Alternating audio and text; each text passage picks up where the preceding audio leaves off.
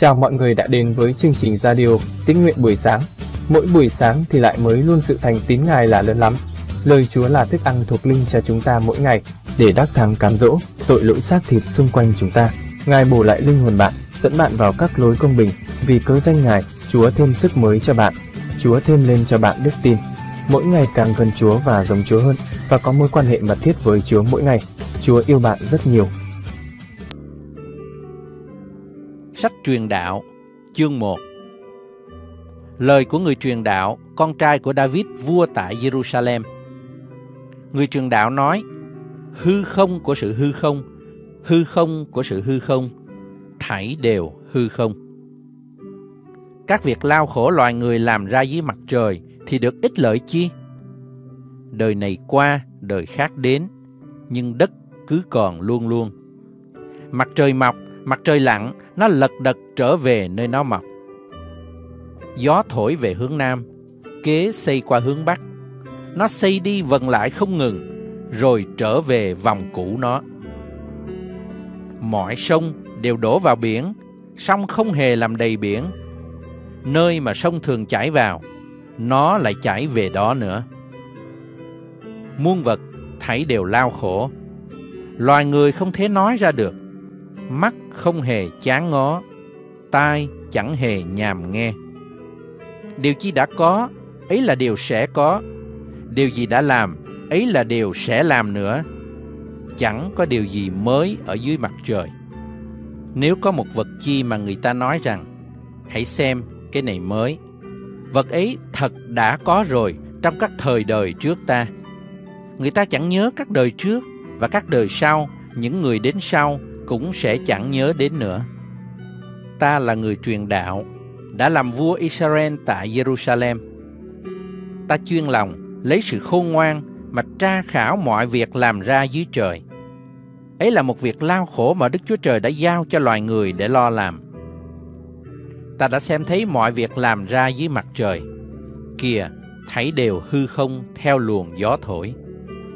Vật chi đã cong vẹo, không thể ngay lại được và vật gì thiếu không thể đếm được. Ta nói trong lòng rằng, này, ta đã được sự khôn ngoan lớn hơn hết thảy những người ở trước ta tại Jerusalem. Thật lòng ta đã thấy nhiều sự khôn ngoan và tri thức.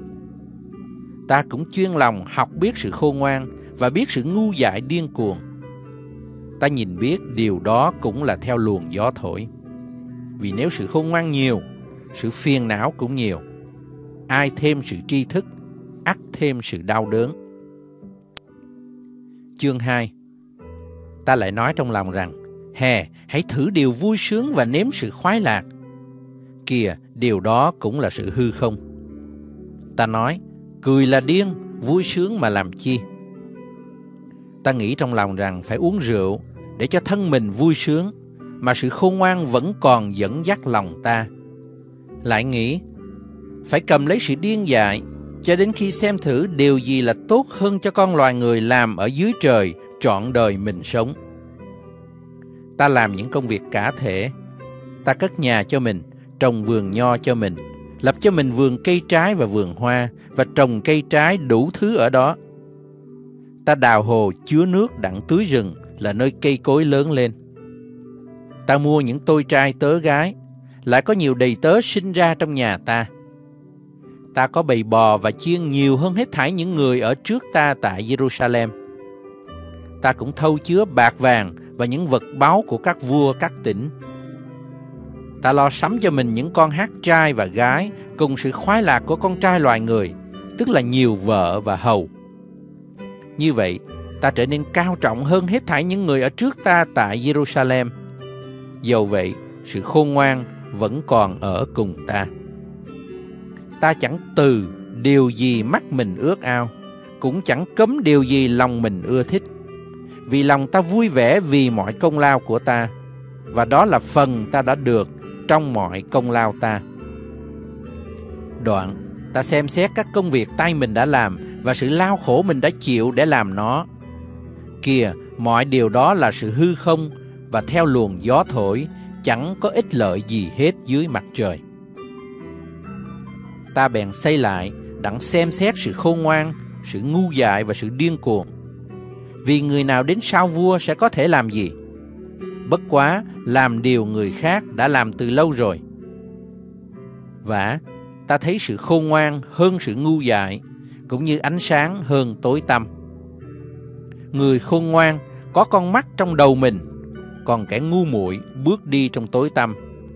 Dầu vậy, ta nhìn thấy hai đàn cùng gặp một số phận về sau.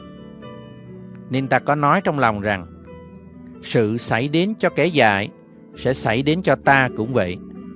Vậy, ta có nhiều khôn ngoan như thế mà làm chi? Ta lại nói trong lòng rằng, điều đó là một sự hư không nữa. Vì người ta chẳng nhớ người khôn ngoan đến đời đời, cũng như chẳng nhớ kẻ ngu muội. Vì trong ngày sau, cả thảy đều bị quên mất từ lâu. Phải, người khôn ngoan chết cũng như kẻ điên cuồng. Vậy, ta ghét đời sống, vì mọi việc làm ra dưới mặt trời là cực nhọc cho ta, thảy đều hư không theo luồng gió thổi. Ta cũng ghét mọi công lao ta đã làm ở dưới mặt trời, vì phải để lại cho người sau mình. Vả, ai biết rằng người ấy sẽ khôn ngoan hay là ngu dại? Dầu thế nào, hắn sẽ cai quản mọi việc ta đã lấy sự lao khổ và khôn ngoan mà làm ở dưới mặt trời. Điều đó cũng là hư không. Bởi cớ ấy, ta trở lòng thất vọng về mọi công việc ta đã lao khổ mà làm ở dưới mặt trời. Vì có người làm công việc mình cách khôn ngoan, thông sáng và tài giỏi, rồi phải để lại làm cơ nghiệp cho kẻ chẳng hề lao khổ làm đến. Điều đó cũng là một sự hư không và một sự tai nạn lớn. Vậy, ít chi cho người lao khổ, cực lòng mà làm việc ở dưới mặt trời. Vì các ngày người chỉ là đau đớn, công lao người thành ra buồn rầu, đến đổi ban đêm lòng người cũng chẳng được an nghỉ. Điều đó cũng là sự hư không. Chẳng gì tốt cho người hơn là ăn, uống, khiến linh hồn mình hưởng phước của lao khổ mình. Ta xem thấy điều đó cũng bởi tay Đức Chúa Trời mà đến. Vì ai là người được ăn và hưởng sự vui sướng hơn ta? Bởi Đức Chúa Trời ban sự khôn ngoan, thông sáng và vui vẻ cho kẻ nào đẹp lòng Ngài. Nhưng Ngài khiến cho kẻ có tội phải lao khổ mà thâu góp chất chứa để rồi ban cho người đẹp lòng Đức Chúa Trời. Điều đó cũng là sự hư không theo luồng gió thổi. Chương 3 Phàm sự gì có thì tiết, mọi việc dưới trời có kỳ định. Có kỳ sinh ra và có kỳ chết. Có kỳ trồng và có kỳ nhổ vật đã trồng. Có kỳ giết và có kỳ chữa lành. Có kỳ phá dỡ và có kỳ xây cất. Có kỳ khóc và có kỳ cười. Có kỳ than vãn và có kỳ nhảy múa. Có kỳ ném đá và có kỳ nhóm đá lại. Có kỳ ôm ấp và có kỳ chẳng ôm ấp. Có kỳ tìm và có kỳ mất. Có kỳ giữ lấy và có kỳ ném bỏ. Có kỳ xé rách và có kỳ may. Có kỳ nín lặng, có kỳ nói ra. Có kỳ yêu, có kỳ ghét. Có kỳ đánh giặc và có kỳ hòa bình. Kẻ làm việc có được ích lợi gì về lao khổ mình chăng?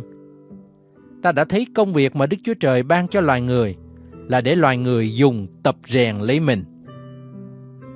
Phạm vật Đức Chúa Trời đã làm nên đều là tốt lành trong thì nó. Lại, Ngài khiến cho sự đời đời ở nơi lòng loài người. Dầu vậy, công việc Đức Chúa Trời làm từ ban đầu đến cuối cùng, người không thế hiểu được. Vậy, ta nhìn biết, chẳng có điều gì tốt cho loài người hơn là vui vẻ và làm lành trọn đời mình. Lại, ai nấy phải ăn, uống và hưởng lấy phước của công lao mình. Ấy cũng là sự ban cho của Đức Chúa Trời.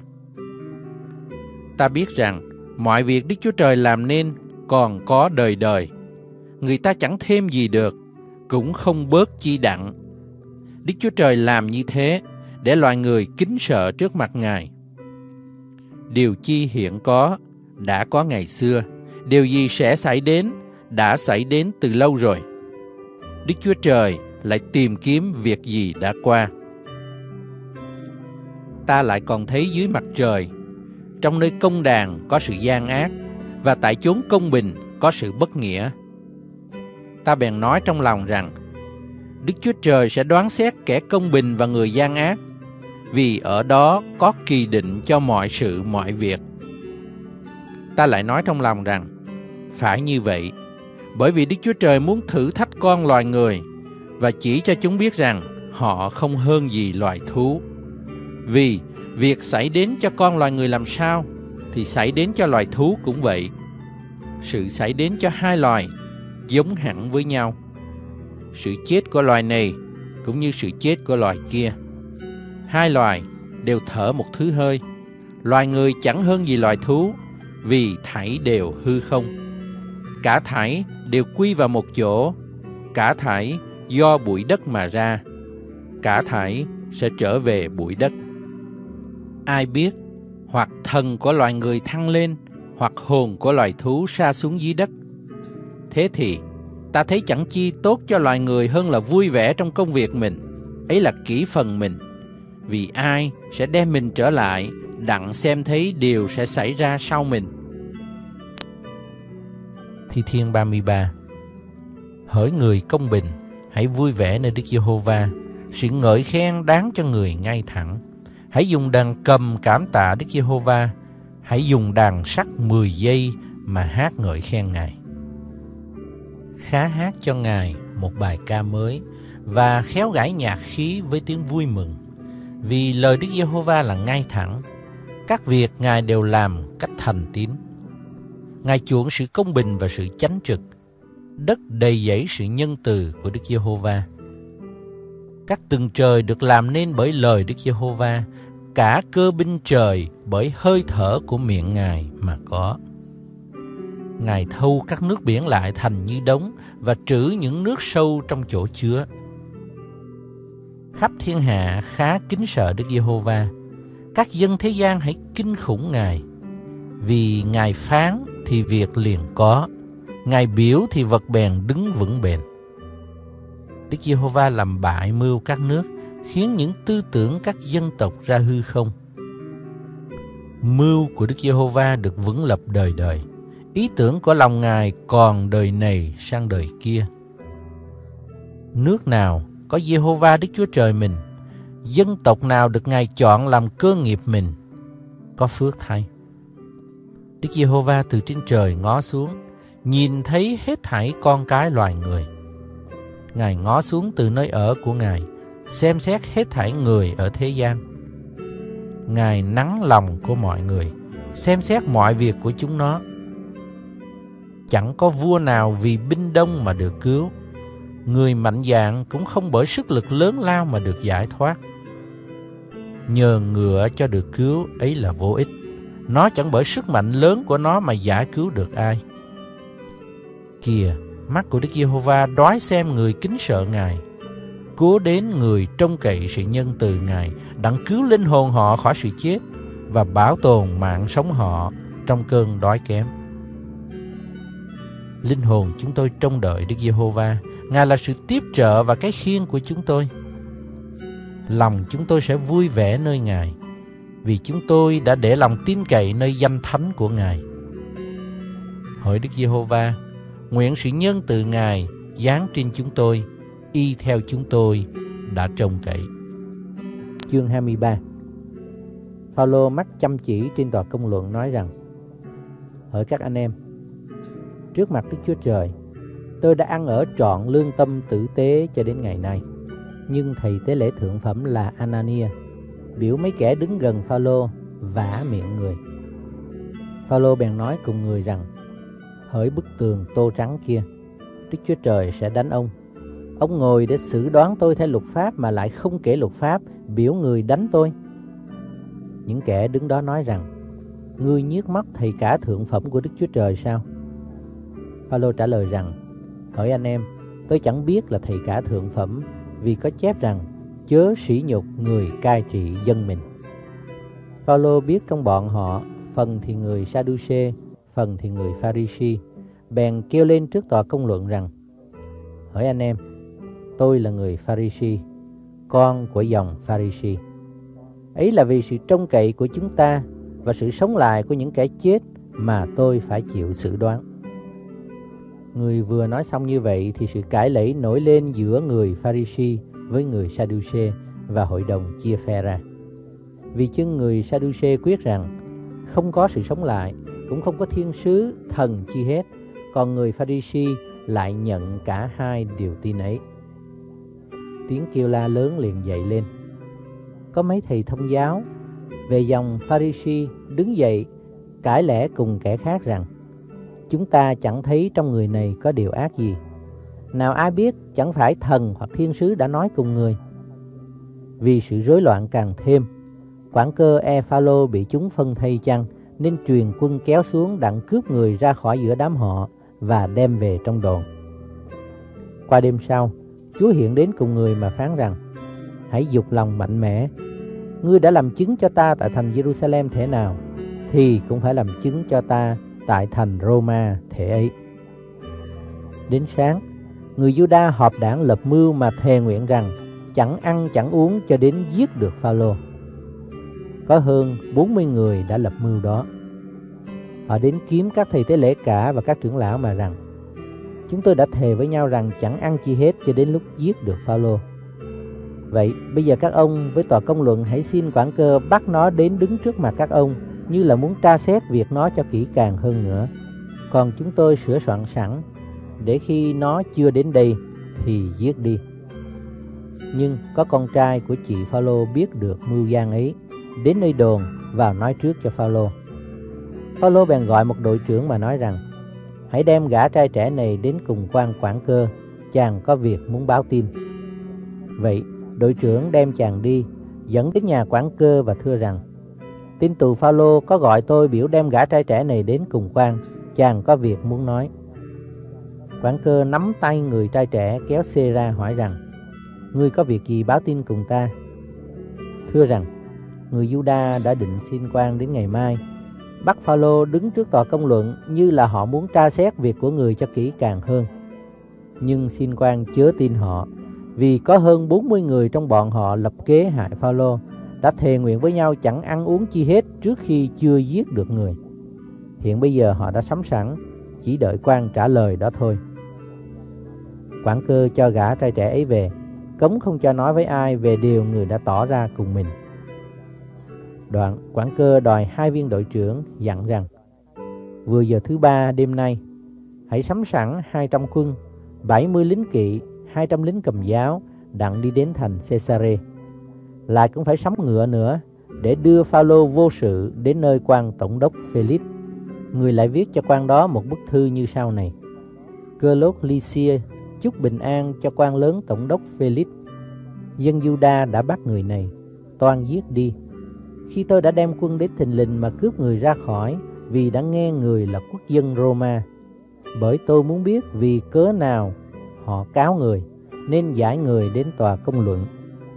Tôi thấy người bị cáo mấy việc về luật pháp họ nhưng họ không kiện người về một tội nào đáng chết hay đáng tù cả. Song tôi có nghe người ta tính kế hại người này nên lập tức sai người đến nơi quan và cũng cho các kẻ cáo người biết rằng phải đến trước mặt quan mà đối nại. Vậy quân lính đem Phaolô đi, theo như mạng lệnh mình đã lãnh, và đương ban đêm điệu đến thành Antipatri. Sáng ngày lính kỵ đi với người, còn quân khác trở về đồn. Những người này tới thành Caesare đưa thơ cho quan tổng đốc và đem nộp Phaolô. Quan tổng đốc đọc thơ rồi, bèn hỏi Phaolô vốn ở tỉnh nào. Vừa biết người quê tỉnh Cilici thì rằng, lúc nào bọn nguyên cáo đến đây, ta sẽ nghe người đoạn truyền giữ Phaolô lại trong nơi công đàn Herod.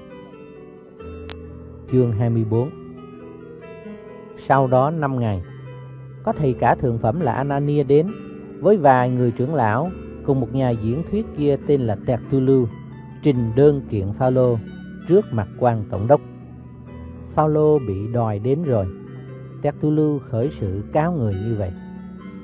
Bẩm quan lớn Felix Nhờ ơn quan mà chúng tôi được hưởng sự bình an trọn vẹn, Và nhờ sự khôn ngoan của quan đổi được mọi tình tệ để giúp dân này, Lúc nào và nơi nào chúng tôi cũng rất cảm tạ biết ơn quan vậy.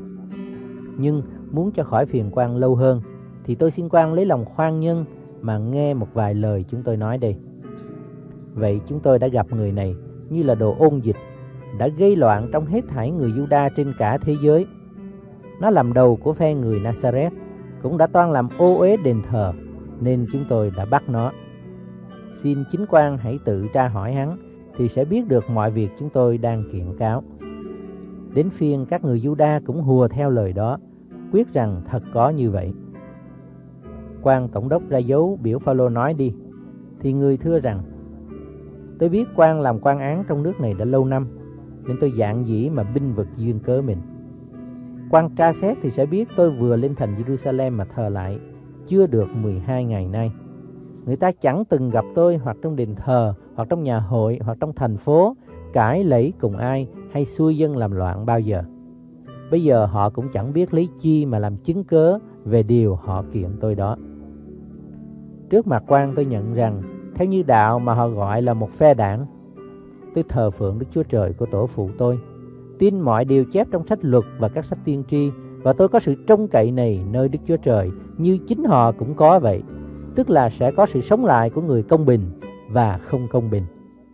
Cũng vì cớ ấy, nên tôi vẫn gắng sức cho có lương tâm không trách móc trước mặt Đức Chúa Trời và trước mặt loài người. Và đã lâu năm nay tôi đi vắng rồi mới về bố thí cho bổn quốc tôi và dân của lễ. Đang khi ấy, có mấy người Juda quê ở cõi Ashi kia gặp tôi ở trong đền thờ, được tinh sạch chứ chẳng có dân đông hay rối loạn chi. Nếu họ có điều gì kiện tôi, thì có lẽ đến hầu trước mặt quan mà cáo đi. Hay là các người ở đây phải nói cho biết đã thấy tôi có sự gì đáng tội lúc tôi đứng tại tòa công luận. Hoặc có thì cũng chỉ trách câu tôi nói giữa họ rằng ấy vì sự sống lại của kẻ chết mà hôm nay tôi bị xử đoán trước mặt các ông. Felix vẫn biết rõ ràng về đạo người nói đó, nên giảng việc kiện ra mà rằng khi nào quan quản cơ ly xia xuống, ta sẽ xét việc này. Đoạn, người truyền cho thầy đội giữ Phaolô, nhưng phải cho người hơi được thông thả. Có kẻ nào thuộc về người đến hầu việc người thì đừng cấm. Qua mấy ngày sau, Felix với vợ mình là Derusi người Juda đến, rồi sai gọi Phaolô và nghe người nói về đức tin trong Đức Chúa Giêsu Christ. Nhưng khi Phaolô nói về sự công bình, sự tiết độ và sự phán xét ngày sau, thì Felix run sợ, nói rằng: "Bây giờ ngươi hãy lui, đợi khi nào ta rảnh sẽ gọi lại." Felix cũng trông Phaolô lót bạc cho mình, nên năng đòi người đến và nói chuyện cùng người. Khỏi hai năm, Bốt tiêu Phê Tu đến thay Felix. Bởi cớ Felix muốn làm cho dân Juda bằng lòng, bèn cứ giam Phaolô nơi ngục. Sách công vụ các sứ đồ chương 25 Phê Tu đã đến tỉnh mình được ba ngày rồi, thì ở thành Caesare đi lên thành Jerusalem. Tại đó có các thầy tế lễ cả và các người sang trọng trong dân Juda đội đơn kiện Phaolô trước mặt người. Vì có ý nghịch, thì cố nài xin quan làm ơn đòi Phaolô trở về thành Jerusalem. Họ đặt âm mưu, đặng giết người dọc đường. Nhưng Phê Tu trả lời rằng, Phaolô bị giam tại thành Caesare và chính mình người sẽ kiếp trở về thành đó. Lại nói rằng, những người tôn trưởng trong các ngươi hãy xuống với ta. Nếu người ấy có phạm tội gì thì hãy cứ kiện. Phê Tu ở cùng họ vừa 8 hay là 10 ngày mà thôi đoạn trở xuống thành Caesare. Sáng ngày sau, người ngồi nơi tòa án và truyền dẫn Phaolô đến. Phaolô mới đến thì có các người Juda ở thành Jerusalem xuống vây bọc người, lấy nhiều cớ nặng mà thưa, nhưng chẳng tìm được chứng. Còn Phaolô nói đặng binh vực mình rằng: Tôi chẳng từng làm điều dữ chi, hoặc nghịch cùng luật pháp người Juda, hoặc nghịch cùng đền thờ hay là nghịch cùng Caesar. Nhưng Phê Tu muốn cho đẹp lòng dân Juda thì trả lời rằng Ngươi có muốn lên thành Jerusalem chịu xử tại đó về những việc này trước mặt ta chăng? Phaolô bèn thưa rằng Tôi ứng hầu trước mặt tòa án Caesar Ấy là nơi tôi phải chịu xử Tôi chẳng có lỗi chi với người Juda Như chính mình quan biết rõ ràng Ví bằng tôi có tội hay là phạm điều gì đáng chết Thì tôi chẳng từ chối chết đâu Trái lại, nếu trong đơn từ họ kiện tôi không có cớ gì hết, thì chẳng ai được nộp tôi cho họ. Tôi kêu nài sự đó đến Caesar. Kế đó Phaetu bàn tán với công hội mình bèn trả lời rằng Ngươi đã kêu nài Caesar, chắc sẽ đến nơi Caesar. Cách đó mấy ngày, vua Agrippa với Berenice đến thành Caesarea đặng chào Phêtu, Vì hai người ở lại đó mấy ngày, nên Phêtu đem vụ Phaolô trình với vua rằng: Đây có một tin tù mà Felix đã để lại. Lúc tôi ở thành Jerusalem, các thầy tế lễ cả và các trưởng lão dân Juda đến kiện người và xin tôi làm án người đi. Tôi đáp lại rằng, người Roma chẳng có lệ giải nộp một người nào mà bên bị cáo chưa đối nại với bên tuyên cáo và người đó chưa có cách thế để chống cãi lời kiện cáo mình. Họ bèn đến đây, thì vừa ngày sau, tôi ra ngồi nơi tòa án, không trễ nải mà truyền dẫn người ấy đến. Các người tuyên cáo đều đã có mặt, song không kiện nó về một tội gì như tôi đã đè chừng. Chỉ cáo nó về đạo riêng của họ và một tên Giêsu đã chết kia mà Phaolô quyết rằng còn sống. Trong sự cãi lẫy đó, tôi không biết theo bên nào, nên hỏi Phaolô muốn đi đến thành Jerusalem để chịu xử mọi điều ấy tại nơi đó chăng? Nhưng nó đã kêu nài để việc kiện mình lại cho hoàng đế phân xử. Vậy tôi đã truyền giam nó trong ngục đợi tới khi tôi giải cho Caesar. Agrippa bèn nói với Phêtu rằng ta cũng muốn nghe người ấy. Phêtu tâu rằng đến mai vua sẽ nghe. Vậy qua bữa sau, vua Agrippa với Berenice đến cách long trọng vào phòng sự kiện với quan quản cơ và các người tôn trưởng trong thành. Phê-tu bèn truyền lệnh điệu Phaolô đến. Đoạn Phê-tu rằng: Tâu vua Agrippa và hết thảy các ông có mặt tại đây. Các ông đều thấy người này, vì cớ nó nên thay thảy dân chúng Juda đến nài xin ơn tôi. Tại thành Jerusalem và tại đây cũng vậy mà kêu lên rằng chẳng khá để cho nó sống nữa. Phần tôi đã xét nó chẳng có làm điều gì đáng tội chết và vì chính nó cũng đã kêu nài việc đó đến Caesar nên tôi định giải nộp cho Caesar. Nhưng vì tôi không có điều chi quả quyết để làm sớ tâu hoàng đế về việc nó, nên đòi nó đến trước mặt các ông, nhất là trước mặt vua là Agrippa. Đặng khi tra hỏi rồi, tôi có điều để viết sớ. Và tôi nghĩ rằng giải một tên phạm mà chẳng nói rõ điều người ta kiện nó thì là trái lẽ lắm. Cảm ơn Chúa lời của Ngài bày tỏ cho con. Thì giờ này chúng ta đến với Chúa trong sự cầu nguyện. Xin Thánh Linh Chúa, hãy bày tỏ cho con biết, Ngài dạy dỗ hay ấn chứng cho con điều gì qua lời của Ngài. Xin lời của Ngài được linh hồn con ăn nuốt vào trong tấm lòng và tâm trí của con mỗi ngày thêm lên lời của Ngài, để linh hồn con được tăng trưởng, thêm lên đức tin đặt để nơi Ngài. Xin Chúa cho con biết về Ngài nhiều hơn và con khát khao mối quan hệ mật thiết với Ngài nhiều hơn. Lạy Chúa con cảm ơn Ngài, mỗi ngày mới ngày ban cho con hơi thở để tiếp tục sống trên đất này. Con nguyện huyết báo của Chúa Giêsu Christ thanh tẩy, tẩy sạch, bôi xóa những suy nghĩ, tư tưởng, hành động trong tâm trí, trong tấm lòng của con như ấy là gian dâm, ô uế, lung tuồng, thờ hình tượng, phù phép, thù oán, tranh đấu, ghen ghét, buồn, giận, cãi lẫy, bất bình, bè đảng, ganh gổ, say sưa, mê ăn uống, cùng các sự khác giống như vậy. Con nguyện xin dòng huyết báo của Ngài tẩy sạch bôi xóa sự xác thịt của con không đẹp lòng Ngài ra khỏi con ngay giờ này. Bây giờ con được thánh sạch đứng trước mặt Ngài.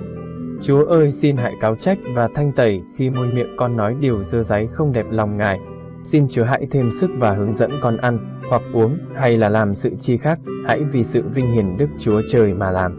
Xin Chúa thêm lên cho con đức tin để mỗi ngày con trong cậy nơi Chúa càng hơn. Xin Chúa thêm lên sự sức giàu trên con để con bày tỏ danh của Ngài trên chính đời sống hàng ngày của con, để con như muối của đất, ánh sáng của thế gian. Con nguyện Thánh Linh Đức Chúa Trời đổ đầy, đầy dẫy con Chúa ơi, những bông trái của Thánh Linh, ấy là lòng yêu thương, sự vui mừng, bình an nhịn nhục, nhân từ, hiền lành, trung tín, mềm mại, tiết độ đầy dẫy trên con. Con xin Chúa thêm sức mới, thêm đức tin cho con. Xin Chúa dẫn dắt con để con đắc thắng một ngày mới trong ngày. Con cảm ơn Chúa, con dâng mọi vinh hiển tôn quý lên ba ngôi Đức Chúa Trời toàn năng, và phước hạnh con nhận lãnh từ nơi Ngài. Và con thành kính dâng lên cha lời cầu nguyện trong danh Chúa Giêsu Christ. Amen. Cảm ơn bạn đã lắng nghe. Xin Thánh Linh Chúa cho sứ điệp này để khích lệ thêm động lực bạn bước đi với Chúa mỗi ngày. Mọi đóng góp, ý kiến hay góp phần dâng hiến cho chương trình, xin gửi về gmail, dưỡng linh cơ đốc 2020a gmail.com. Bạn ủng hộ chương trình bằng cách chia sẻ chương trình rộng rãi trên mạng internet, cộng đồng xã hội. Hẹn bạn dưỡng linh hàng ngày tiếp theo. Chúa yêu bạn rất nhiều.